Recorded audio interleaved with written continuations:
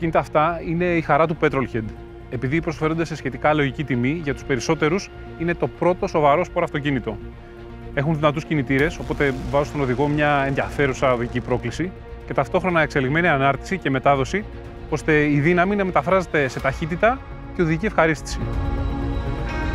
Η Ford στα νέα μοντέλα της χρησιμοποιεί πολύ το και. Δεν θέλει να είναι ή πιο ενδιαφέρον οδηγικά ή πιο πολιτισμένο, θέλει να είναι και τα δύο. Αυτό ακριβώς προσπαθεί να κάνει και με το νέο Fiesta ST. Το εκλεπτισμένο Polo GTI και το πιο σκληροπυρηνικό DS3 Performance είναι τα δύο αυτοκίνητα που χρησιμοποιούμε ως σημεία αναφοράς για να δούμε αν όντως το νέο Fiesta ST διεκδικεί την κορυφή της κατηγορίας.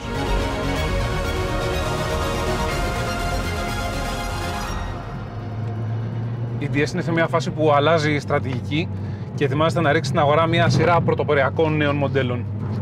Το DS3 είναι ο τελευταίος εκπρόσωπος της σημερινής γκάμας, της σημερινής γενιάς αυτοκινήτων. Στην έκδοση Performance είναι ένα πραγματικά σκληροπυρηνικό GTI της παλιάς σχολής.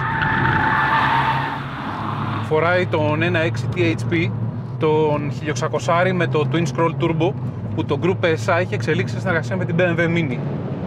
Είναι ελαστικός, έχει καλή απόκριση στον γκάζι. Αν κάτι θα θέλεις παραπάνω από το μοτέρ είναι λίγο ήχο, γιατί ακούγεται μια, μια βαβούρα μέσα στην καμπίνα που βγάζει ένταση, όπως θες σε ένα σπόρο αυτοκίνητο, αλλά δεν ξεχωρίζει ούτε ο ήχος του μοτέρ ούτε ο ήχος της εξάτμισης. Ο Λευγές έχει πολύ καλή αίσθηση, δεν χάνεις κατέβασμα. Στιβαρός, πολύ θετικός στο κούμπομα. Τα φρένα είναι δυνατά. Το παντέλ έχει καλή αίσθηση. Και έχουν βγάλει και αντοχή. Το τιμόνι έχει καλή αίσθηση και είναι αρκετά γρήγορο. Έχεις την πληροφορία που θέλεις και ορίζεις τη γραμμή σου χωρίς να παλεύεις.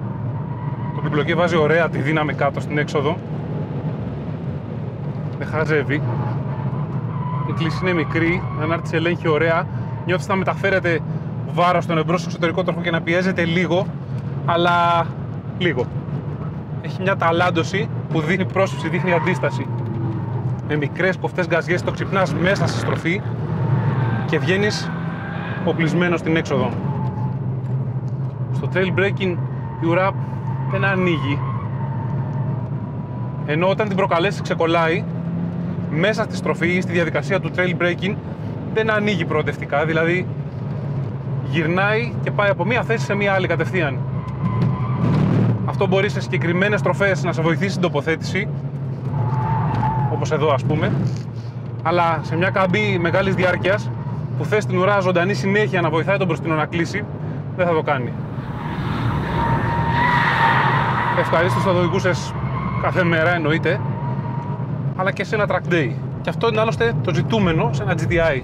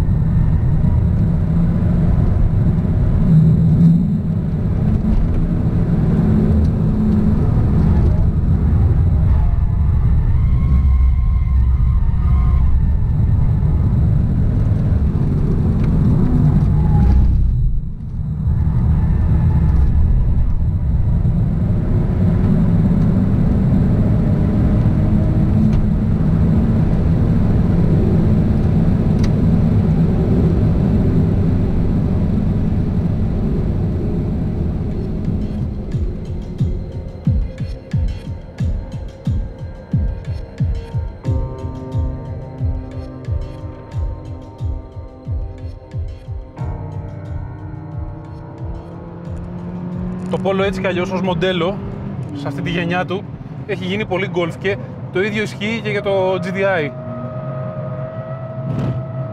Καταλαβαίνεις ότι είσαι σε ένα πιο σύγχρονο αυτοκίνητο από το DS έτσι κι αλλιώς από διάφορα πράγματα, όπως ας πούμε ο ψηφιακός πίνακας οργάνων, η τεράστια οθόνη πολυμέσων και τα προγράμματα οδήγησης. Οδηγούμε στο Sport Mode και για το κυβότιο επιλέγουμε την αυτόματη λειτουργία στο Sport πρόγραμμα. Είναι μάλλον καλύτερο από το χειροκίνητο, γιατί έτσι κι αλλιώς είναι λίγο διστακτικό στα κατεβάσματα. Οπότε αυτό ακριβώς που θα ήθελες να κάνεις με το χέρι δεν μπορείς. Και απ' την άλλη βγάζεις μια έννοια από το μυαλό σου. Στα ανεβάσματα έτσι κι αλλιώς δεν υπάρχει περίπτωση να κάνεις την αλλαγή πιο γρήγορα από το DSG. Τα φρένα είναι δυνατά. Το πεντάλι δεν είναι το ίδιο γραμμικό με το DS, είναι λίγο πιο ξύλινη η αίσθηση. Αλλά είναι αποτελεσματικά. Το σασμάν είναι καλά συγχρονισμένο. Κατεβάζει τη σωστή ταχύτητα και ανεβάζει αστραπή ακόμη και κάνει kick down. Εδώ δεν υπάρχει μηχανικό μπλοκέ, μόνο το vectoring. Αλλά κανένα θέμα. Διαχειρίζεται τη δύναμη πάρα πολύ καλά στην έξοδο. Τη βάζει στο δρόμο. Και στις καμπές διαρκείας η ουρά είναι ζωντανή, δουλεύει, δεν είναι υπερστροφικό, αλλά καταλαβαίνεις ότι βοηθάει τον μπροστινό να σημαδέψει. Δεν υπάρχει γλίστριμα, δεν χρειάζεται ποτέ διόρθωση. Το καταλαβαίνεις όμως μέσα από το κάθισμα ότι δουλεύει. Η ανάρτηση είναι λίγο πιο μαλακή, παίρνει λίγο μεγαλύτερη κλίση, αυτό το κάνει πιο φιλικό. Δεν έχει την ταλάντωση της ανάρτησης του DS ή ακόμη και του Fiesta, ίσως γιατί αρχίζει να κλειστράει λίγο νωρίτερα, οπότε εκτονώνεται εκεί η δύναμη.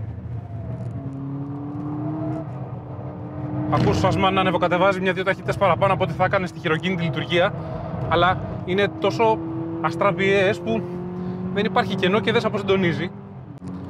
Βγαίνει από την ΚΑΠΑ 5 και με τέταρτη, έχει ροπή. Έχει πολύ ροπή.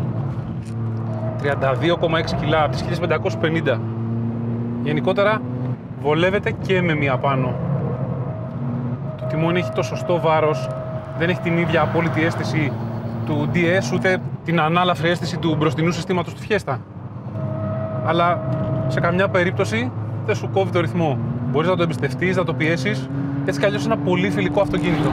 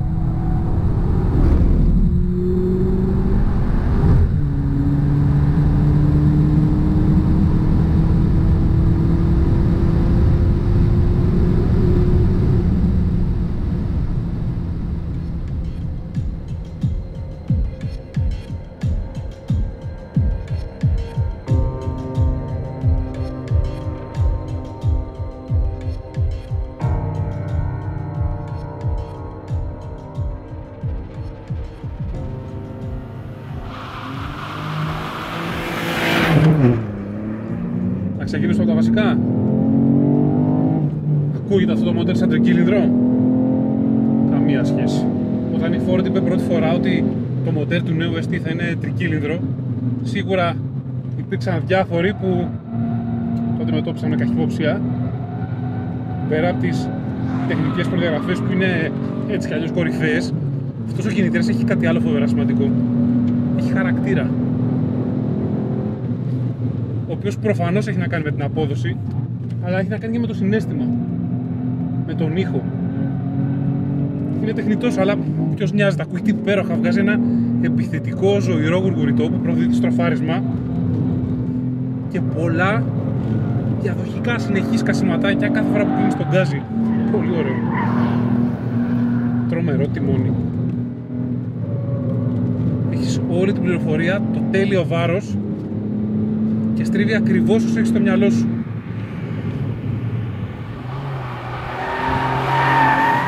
Μοτέρ έχει τρομερή απόκριση.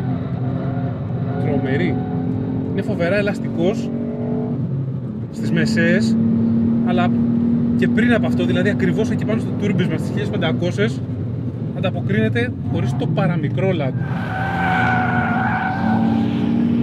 Με μικρές γκαζιές, μικρά πατάσε μέσα στη στροφή, μπορείς να ρυθμίζεις με τρομερή λεπτομέρεια τη γραμμή σου. Χρειάζεται πραγματικά πολύ καλή απόκριση στον γκάζ για να το κάνεις αυτό και είναι αντίστοιχα ευαίσθητο πλαίσιο. Και τα έχει και τα δύο. Έχει πίσω τα νέα ελαττήρια Force Vectoring της Ford, τα οποία όταν πιέζονται δημιουργούν αντίρροπη δύναμη για να διατηρούν αναλύωτη τη γεωμετρία της πίσω ανάρτησης και τους τροχούς τελείως κάθετα σε σχέση με τον δρόμο, ώστε να έχεις το μέγιστο contact patch από τα λάστιχα. Σε συνδυασμό με το μπλοκέ, το μηχανικό μπλοκέ που έχει μπροστά και το torque vectoring, το αυτοκίνητο στρίβει λες και έχει τετραδιεύθυνση. Κλείνει απίστευτα πρόθυμα στην κορυφή. Είναι ζωντανό συνέχεια. Νιώθεις την ουρά να ανοίγει ακριβώς όσο πρέπει για να βάλεις τη μούρη εκεί που θες. Για να μπεις νωρίς στον γκάζι και να βγεις με φόρα στην επόμενη ευθεία. Και να βάζει χιλιόμετρα με όρεξη. Πολύ όρεξη. Η ανάρτηση είναι εξαιρετική. Είναι σφιχτή αλλά δεν είναι ξερή. Μεγάλη διαφορά αυτό. Ισοπεδώνει τα κέρμπα αλλά ελέγχει τέλεια το βάρος. Η κλίση είναι ελάχιστη. Δεν έχει ταλαντώσεις ή άλλες νευρικές αντιδράσεις. Είναι ένα απίστευτα φιλικό στο όριο αυτοκίνητο. Πολύ προοδευτικό. Είναι φιλικό όσο το Polo και πολύ πιο προοδευτικό από το DS. Είναι ο τέλειος συνδυασμός των δύο κόσμων. Στο μεταξύ, σηκώνει συνέχεια τον πίσω εσωτερικό τροχό. Πρέπει τη μισή πίστα να την κάνει με τον πίσω εσωτερικό τροχό στον αέρα. Είναι σαν να στρίβει βασισμένο σε μια διαγώνια δύναμη.